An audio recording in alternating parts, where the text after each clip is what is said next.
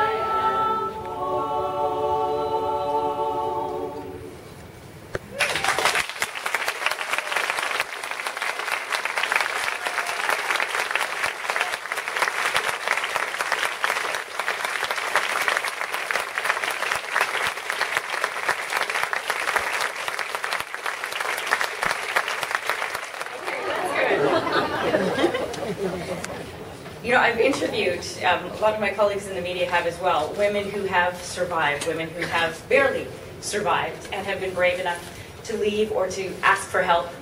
Uh, and to see a group of women to be able to stand there and sing that they feel safe, to sing even, and to say they feel safe, to say they found home is, is incredible to see. You guys have done great work. Congratulations. Before I invite up the ribbon cutters, they will include our speakers, as well as Diane Walker, who's the co-chair of the Elm Cabinet, and Julia, uh, Julia Haylock, a YWCA staff member. I want to extend an invitation to tour some of the YWCA